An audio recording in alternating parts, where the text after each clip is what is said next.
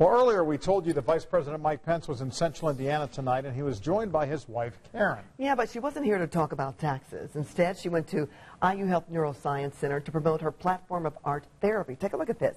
She met with therapists to learn more about how they're helping people through art. Now, she also sat down with some of the patients as well.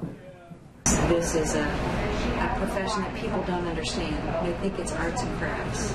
You all know it's not arts and crafts, that it's really helped you, and I want to hear how it's helped you.